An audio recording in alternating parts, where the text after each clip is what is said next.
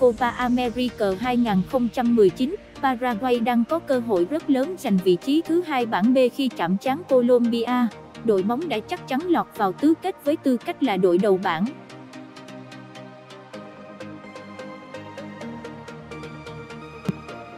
Nhận định chung Colombia đã chắc chắn bảo đảm vị trí hàng đầu ở bảng Copa America sau khi đánh bại Argentina và Qatar ở hai lượt trận đầu tiên mà không để thủng lưới. Do đó, huấn luyện viên Carlos Queiroz có thể tự tin cho các cầu thủ trụ cột nghỉ ngơi. Điều này sẽ mang đến nhiều lợi thế cho Paraguay. Đội bóng đang chiếm vị trí thứ hai ở bảng B sau khi hòa hai trận đầu tiên. Một chiến thắng trước Colombia sẽ bảo đảm cho Paraguay đủ điều kiện vào vòng tiếp theo với vị trí thứ hai trong khi ngay cả một trận hòa có thể đủ nếu Qatar cầm hòa Argentina ở trận đấu cùng giờ còn lại.